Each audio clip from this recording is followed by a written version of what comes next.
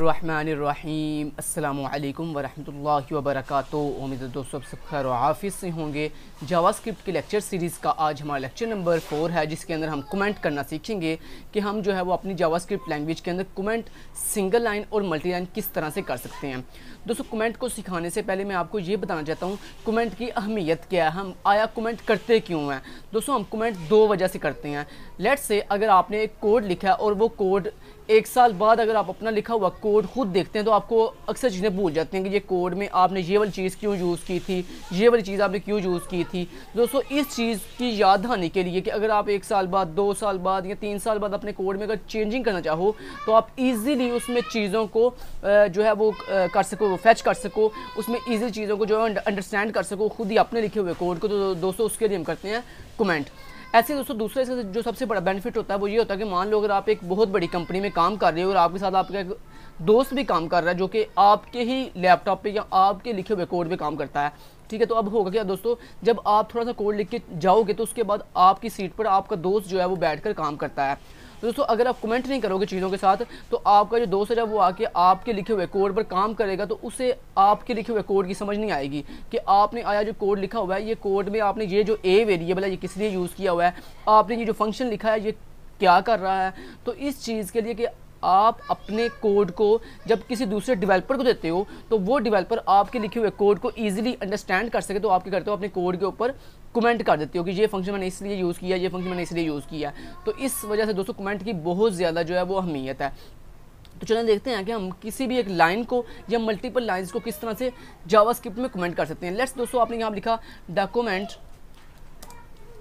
write W R I T E write function या method method use for print output on screen let's say आपने अपने अपने दूसरे developer को ये बताया कि जनाब जो डॉक्यूमेंट डॉट राइट फ़ंक्शन है, ये क्या करता है? ये यूज़ किया जाता है आउटपुट को प्रिंट करने के लिए अपने डॉक्यूमेंट के ऊपर. तो अब आप, चूँकि ये आपका अपना एक जो थिंकिंग है, जो आप अपने दूसरे डेवलपर को या अपने आप को बताने के लिए ये आपने कमेंट किया। दोस्तों, ये दिस इज़ ये कितने लाइन है? ये सिंगल लाइन है। तो सिंगल लाइन के दोस्तों, अगर आपने कमेंट करना हो तो आप किस तरह से करोगे? आप इसके स्टार्ट के ऊपर इस तरह से दो फावर स्लैश लगा दोगे। तो दोस्तों, जिस लाइन के शुरू पर आप जावास्क्रिप्ट में दो फावर स्लैश लगा देते हो, उसको हम कहते हैं this is a single line comment कि ये एक सिंगल लाइन कमेंट बन चुका है।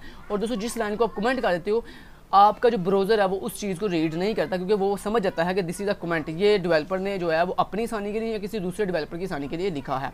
तो ये दोस्तों सिंगल लाइन कमेंट इस तरह दोस्तों मान लो अगर आपने मल्टीपल लाइन को कमेंट करना, मान लो आपके पास एक मल्टीपल लाइन है, जैसे आपने लिखा के S T learning